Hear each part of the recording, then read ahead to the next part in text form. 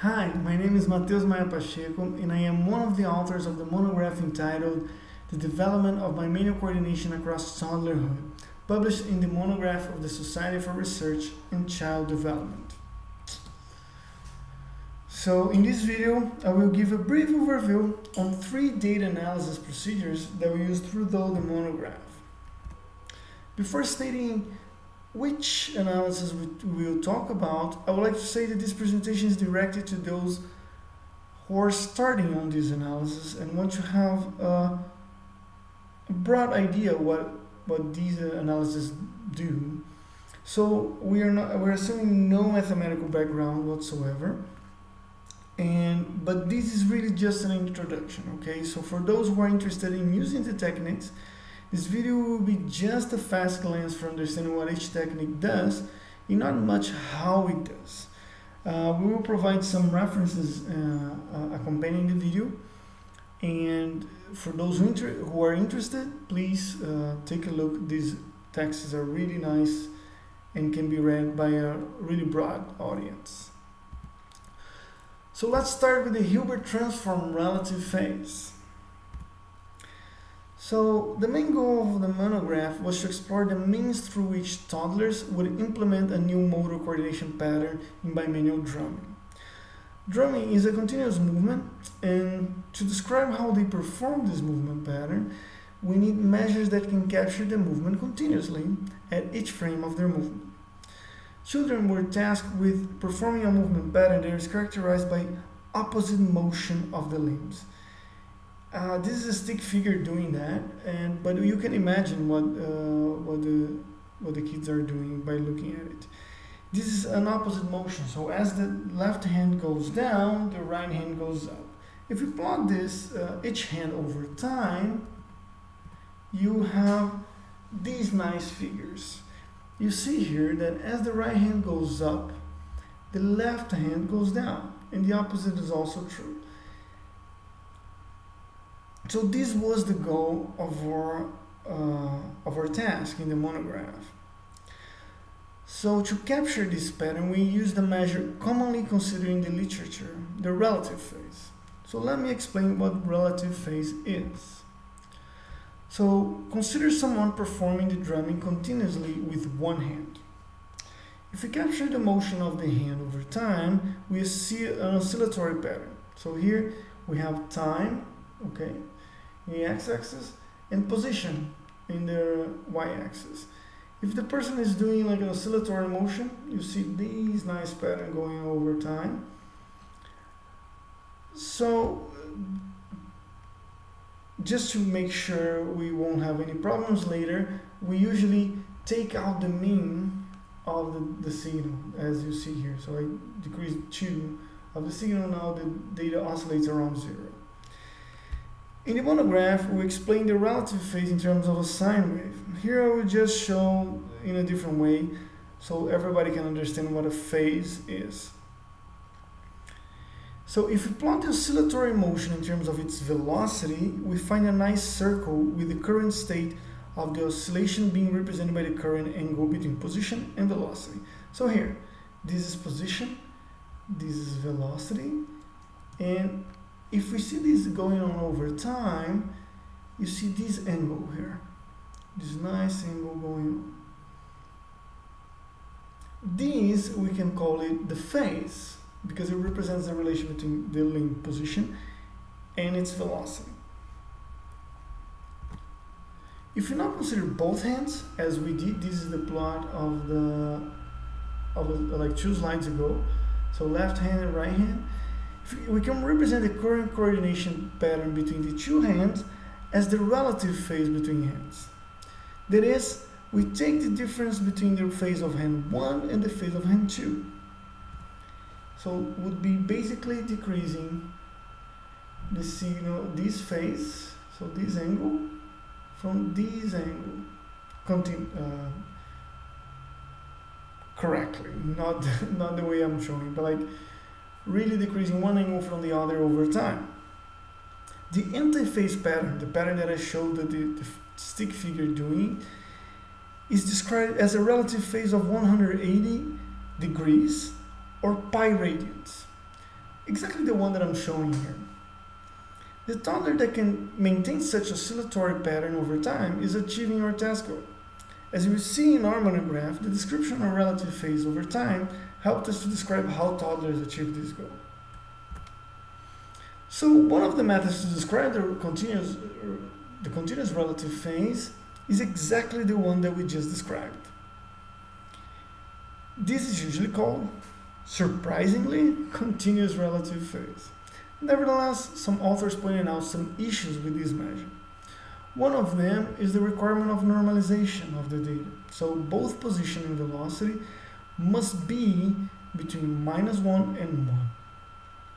This would alleviate frequency changes or and shifts, uh, that is, uh, means that changes over time. And this is not quite correct for no, for real data. So if you normalize the data as you as I did here, you will meet this requirement. You see here that I was quite smart, just showing to you guys something that goes from minus 1 to 1 in both axes. But this is not true for all data, and uh, you will see some examples of when non-normalizing creates an issue. Lemon and Stöckl shows uh, show a nice illustration of when normalization solves the issue and when normalization doesn't.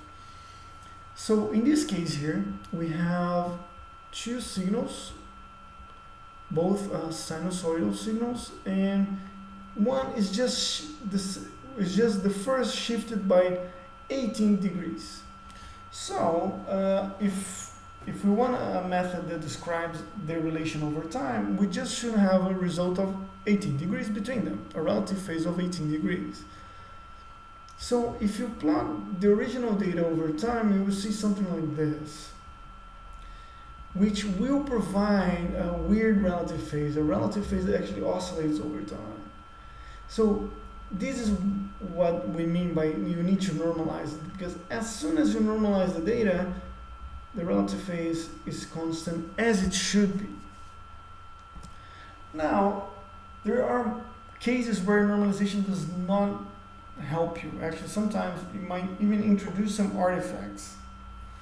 In this case here, we have two non-sinusoidal signals and they have they have a shift uh, between them which creates some some different phases. As you see here if you norm, not normalize the data the continuous black uh, the black line here the continuous black line you see that you have some not the true relative phase. The true relative phase is this one uh, with the with the diamonds on the line. But if you normalize it, you, you there are different methods of doing this. If you normalize it, the first method gives you something even worse than the non-normalized data, or something that creates large and large deviations, which which is not correct. So in these cases, uh, the best way to solve it is to use the Hilbert transform. This transformation, in simple terms, expands the signal to the complex domain. As this requires some technical knowledge, I will try to show what it does to the signal and how this provides a phase, rather than trying to provide a full explanation of the mathematical procedure per se. So let us say that we have a signal oscillating between 1 and minus 1 like this one. So imagine this is the hand moving up and down. So if we consider this to be a real part of a complex number, I want to find its imaginary part because this, what I have currently is the real part. So I want to, using this method of a Hilbert transform, what I want to find is the phase quadrature of this signal. This is obtained by shifting the signal by 90 degrees in the complex plane. It really sounds terrible or really hard to do, but what we mean is something like this. Remember, uh, we showed before what was a, a 180 degrees relation between two oscillatory signals. This would be matching, so the peak of one of one signal will be matching the value of the other but you see that this is kind of in between. So this imaginary part is the same signal shifted by 90 degrees. So this is the phase quadrature. If we now plot this in the same way we did before, but not in terms of position and velocity, but in terms of real and imaginary parts, we see that we can also get a phase between uh, imaginary and real, so we can get this angle here. And then we have the phase of the signal. And then if we want the relative phase between two signals, we just do the same procedure we did for one hand. So we do the Hilbert transform on one hand, the Hilbert transform on the second hand, get the phases of each one of them, and subtract one from the other. Employing this Hilbert transform is a methodological advance as it does not suffer from the same criticisms of the continuous relative phase. For those who are interested, uh, I will put uh, some references uh, in the who campaign, who actually will follow the video. Let's now go to the second type of analysis that we do, the wavelet analysis. So two other important features that uh, of Toddler's motor behavior is is to understand the motion of their hands, right? So we know the relative phase, which is related to the goal. And now we want to know how each limb moved in order to achieve the goal. Two characteristics that are really important for us are the amplitude of the signal, that is basically how large the oscillation is, and the frequency of the signal, uh, that is basically the time it takes for the signal to complete a full cycle. Readers or listeners who are accustomed to the techniques of signal processing will likely recognize that the usual procedure is to perform a spectral analysis, typically relying on the Fourier transform and other related techniques. An example is this signal that, when analyzed through spectral analysis, show two main frequencies composing the signal. So here are all frequencies possible. And this is a measure of how much each frequency contributes to the signal. Here you see a 1 hertz frequency being this fast oscillation. So uh, one cycle per second with high power and a slower frequency with a, a smaller contribution there is this slow wave going on here that is the other component. You notice that when we analyze the data this way, what we have is something, uh, what we have is a single decomposition, meaning that we have, uh, we need a signal that maintains its amplitude and frequency over time, or we can say a stationary signal. But this is not the case when a toddler, for instance, is learning to draw. You observe changes in frequency as time passes, or even changes in amplitude. So this is an exemplary trial where the toddler was uh, oscillating one hand, it stopped, and it come back, came back, and started oscillating again. So this was really slow frequency, the really slow motion to reach the peak again. And so what we need is a method that can specify for us that, well, the frequency around here was faster than the frequency around here. And sometimes, well, the amplitude here was smaller than the amplitude here. We need something like this to understand how toddlers achieved or grow.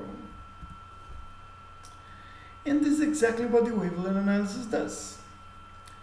So, to avoid again some technicalities, the wavelet analysis transforms the original data set by observing how a prototype function matches the original data set.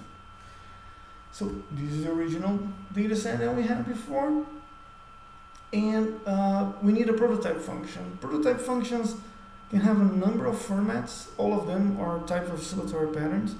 The one that we use in the monograph is the Morlet. Uh, there's this nice one. So to do the wavelet analysis, we need to modify this, modify by in terms of time and space, to see how it fits to this data. In doing that, we understand what is the time, the specific time of an oscillation, the specific uh, amplitude of it. So for instance, we do this transformation and see, okay, yeah, uh, we needed to change this signal by in terms of time this way, in terms of amplitude this much, and then we understand what over time what types of oscillation we had. For those more interested in the actual mathematical procedure, the transform is the convolution of the time series with the prototype function scaled and translated in time. Uh, for those interested, uh, you need to read the Torrence and Compo 90, nine, uh, 1998 uh, paper that we will put in the references. So let us go to the MATLAB to see how we can do that because it looks really hard to do but luckily for us MATLAB and other so uh, software packages have this whole procedure organized into a single code. Let me go here. Sorry.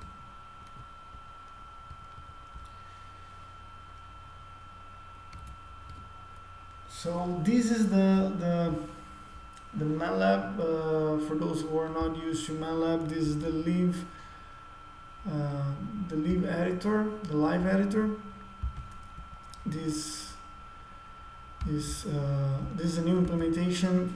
For those who are who have the, the, the older older versions, it's, it's okay. The code is the same. Everything is the same. So okay, in this signal, I so here what I did was basically I created a time vector uh, that has two seconds uh, with a 1000 hertz signal uh, that we can see.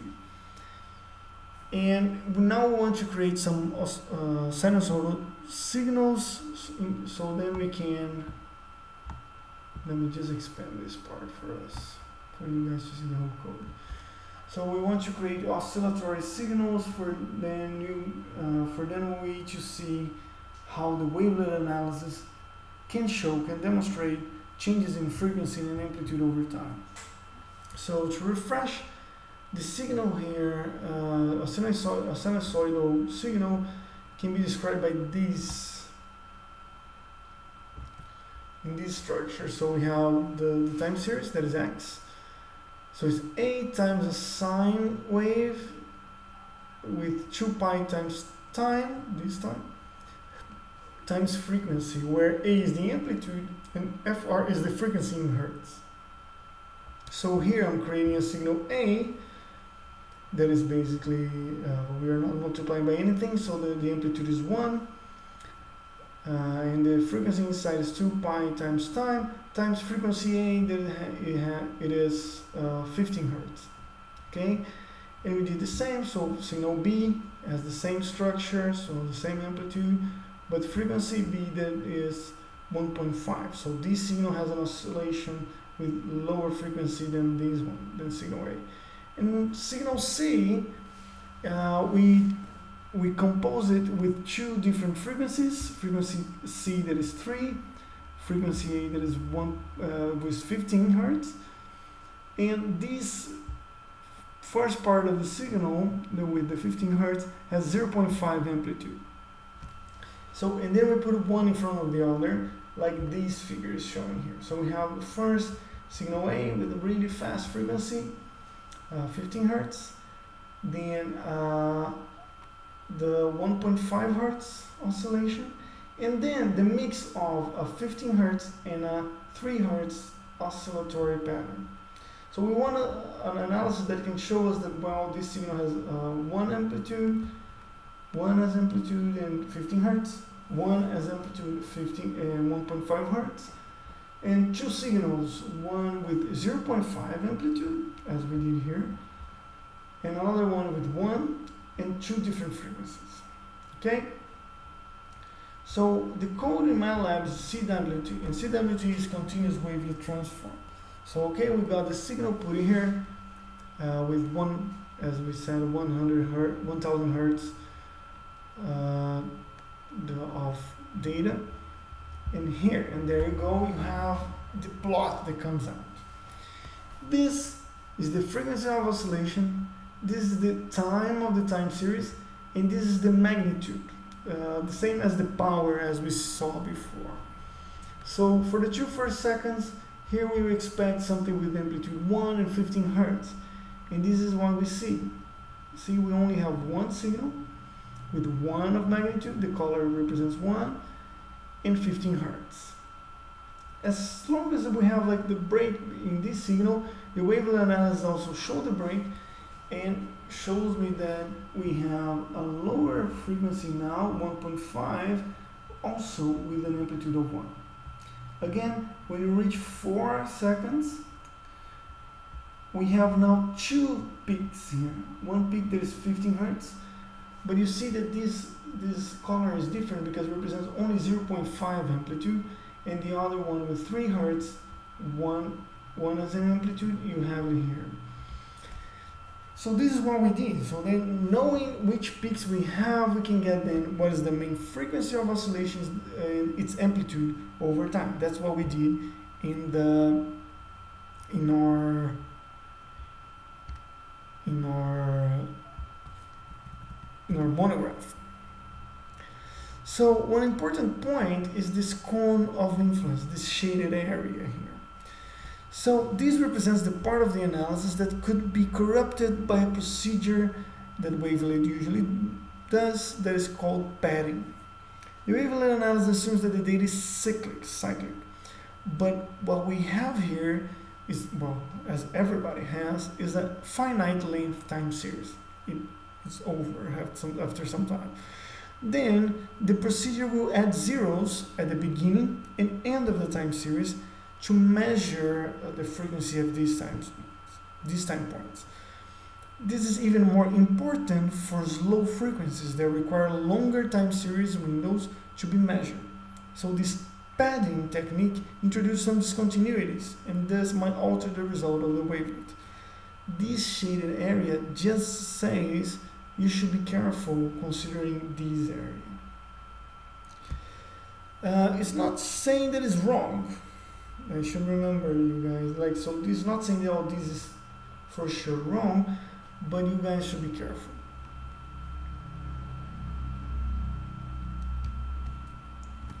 Okay, now we are ready to go to the third analysis that we want to explain in this slide, is the linear mixed effect analysis. This is the inferential analysis. Uh, the previous two analyses were more about uh, getting some some uh, describing the data. And here now we want to say, okay, the, the individuals changed by this much uh, over this amount of time because of this group of this manipulation, something like this. So what we want to do is to describe the general trends we have in the data, but we cannot forget that there is substantial variability between individuals. Okay? In the past, uh, Early researchers usually try to fit individual regressions for each individual using the common ordinary least square errors. So imagine that we have like a dependent variable here that goes from minus 5 to 20 and an independent variable here. What early researchers would do would they would get like so these are different individuals they will fit these linear regressions to each to each of these uh, lines these uh, data points, right? This time series. Uh, and then they would get, okay, a, a, uh, an intercept and uh, a slope for each each individual. So if uh, subject one is the blue one, okay, we have an intercept around zero and a slope of, I don't know, some number. And then you do that for each individual, and then you use these A's and B's, the intercepts and slopes, to see the effect of the experimental manipulations and groups and so on. Nevertheless, some these procedures have some issues. One is that the uh, ordinary least square errors requires the resultant errors of the model, that is the noise that is around the data, should be independent, normally distributed, and have constant variance.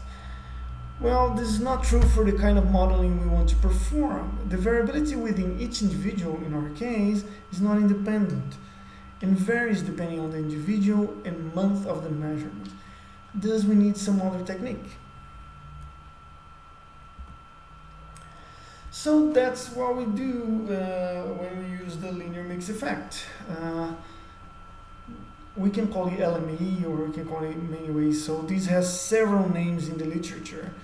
Uh, one is the hierarchical linear models. The other one is linear mixed effect, uh, the multi-level modeling, and so on. The idea of this type of analysis is to understand different nested levels of data without violating assumptions of independence of error. This analysis uses the maximum likelihood procedure, which avoids the problem of the ordinary least square errors. The data presented in the monograph had a st structure. What we mean by it is that we have individuals changing over time. We have like measurements for each individual in time, and we have you can say oh we have like sex, we have genders, we have uh, groups, and so this is kind of a nested data. So we have data within individual, and we want to see effects also between individuals, and this is kind of a nested type of data. So to capture the within and between person variability, we model data using different levels. The first level will be change within individual. That is, we will model performance as a function of time or practice experience in our task. Formally, we say that the, the individual starts with some performance, the intercept, like this, alpha here, and change in a given rate as he, she practice over time. So this alpha 2i times time, t here. Uh, and we always have some non-explained error here, this variability.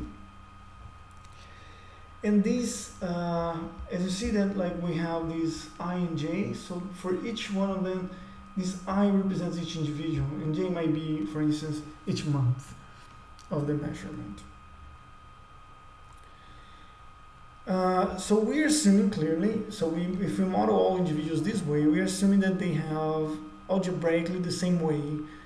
So they change differently, but having always like their change in terms of intercept and slope, for instance, also always like a linear change in this case. Uh, but now we want to know how they vary between them and and this is modeled in terms of the intercept and slope. So we create a second level where the intercept and slope are the resultant variables. In the second level, the intercept, for instance, this one, has a general mean and is a general mean, this beta 1, 1, and is a function of a between level variable, let's say in this case could be sex and all these with an added error, so like some another variation that occurs at this level of analysis now. So, and then we do the same for the slope. Hmm. So the slope has a mean and has some effect of this between individuals variable. You see that sex, well, that's not a good example currently, but like this is, sex is uh, in this time scale of this experiment does not change over time, so this represents between individual variable. Uh, the variability between individuals in terms of intercept and slope are important to understand change.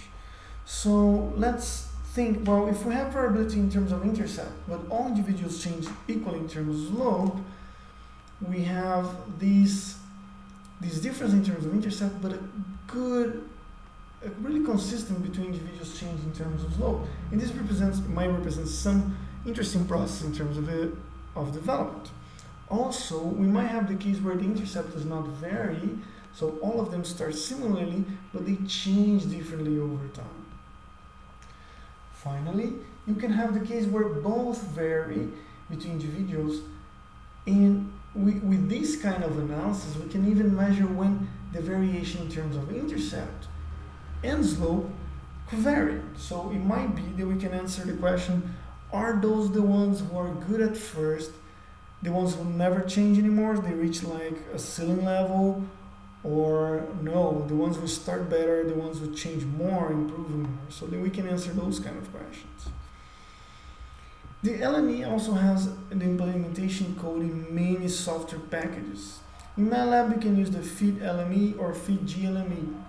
The first deals with linear uh, models, and the second deals with some transformations, the data that make them linear. So, for instance, we can play with sigmoidal curves, uh, such as the one that we use in the monograph, because these are good for binomial distribution and can be transformed in linear models. As you see in our monograph, we vary the usage of fit LME and fit GLME depending on the data requirements. And for more information about the methods and analysis, please read our monograph. Thank you.